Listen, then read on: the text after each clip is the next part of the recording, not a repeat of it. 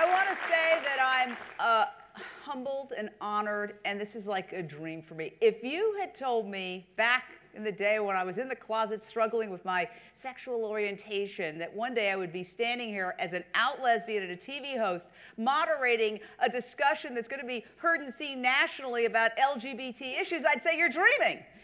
Well, guess what? My dreams came true because here we are and I'm talking about it. And I'm out and I'm proud and I'm proud of you for being here. I, whether you're gay, whether you're straight, whether you're bisexual, whether you're transgender, this is a dialogue that we can all learn from because what's what's the point of life? Uh, we're here to find out who we really are and what our purpose is in life. And so this discussion about identity can help all of us. So with that, I want to welcome my absolutely incredible panel. We're having a great time backstage. By the way, we're all going karaokeing afterwards, and you're invited. All right. Uh, gotten to know Donna Rose, who is a powerhouse, and she has done more to teach corporate America about transgender lifestyle, the transsexual lifestyle, and she has really changed the thinking of corporate America. And this is a woman of so many firsts. Um, she was the first openly transgender member of HRC, that's Human Rights Campaign board of directors. She's the first openly transgender member of the board of directors for the National Gay and Lesbian Chamber of Commerce. First, first, first, and her memoir, Wrapped in Blue, is amazing. Let's welcome Donna Rose. Come on out, girl. All right, you're right there.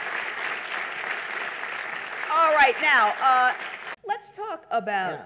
community building within the LGBT community because I think uh, some people might say, oh, we're just monolithic and it's all big, one happy family and we're right. partying all the time and dancing.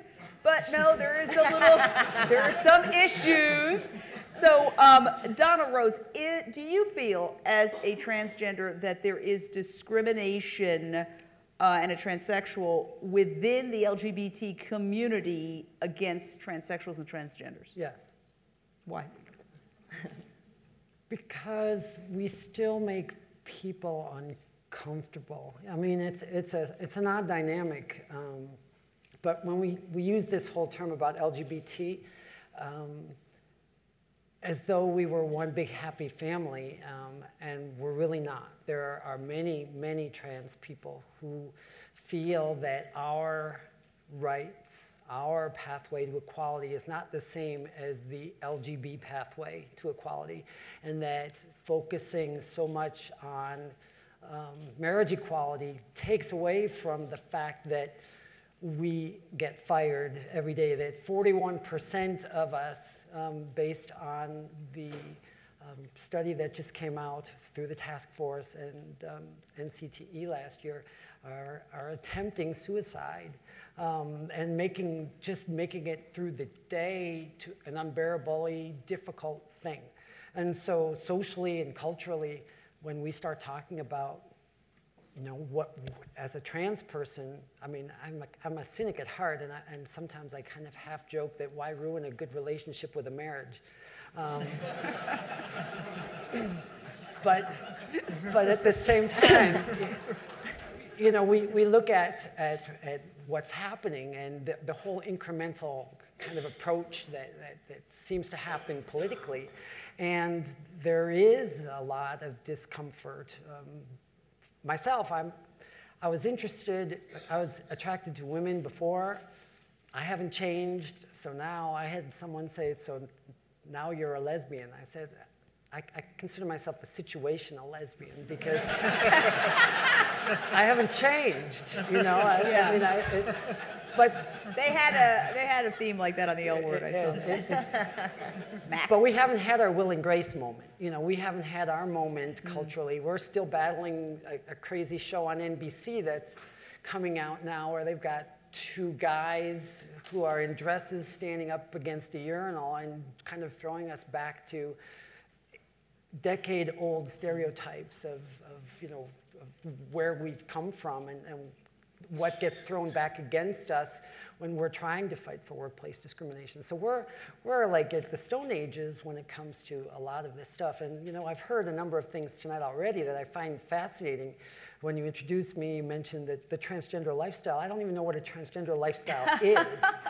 You know, I Neither mean, do I. because because I'm just like you. I, I, I have a career, I have a son, I, I pay my bills, I do. I mean, I don't know what a lifestyle is. And, and I noted more than once where we talk about gays and lesbians, but we leave out transgender people, or we talk about gay, but we don't say. And so I'm very sensitive. We are very sensitive to being left out of the party or not considered real men or women or, or somehow or another we haven't paid our dues yet and so there is very much as i've been the first of, my community in the various things i've done there's been a very a significant learning curve. I'll, I'll just give an example when i was on the board of hrc at the first meeting they come out with um, statistics of how we're broken out. I mean, how many um, men and women, how many um, by race, all kinds of things. And wh- when I joined the board, they had men, women, then transgender. And I wrote back, I said, you know, I, I, I assume this makes sense to you, but what I read are men, women, and other. And I'm not a other. I mean, I've gone through an incredibly difficult process to integrate into, into society and in a role that makes me comfortable. And for you now to do this, you know, shows an insensitivity, an, an, a, a sense of being unaware. And I know it wasn't on purpose, but that's kind of what we're doing. That's kind of why we're having these kinds Well, of I, conversations. I just want to say that I think you're an individual human being of incredible courage, and I think most of our audience would agree. Uh, I want to talk about, well, as a lesbian, I'd, I'd personally like to say my issue is when I go to all these galas and events, I want to see more women. Okay? It's all guys. It's a you know what fest, so I won't say the word.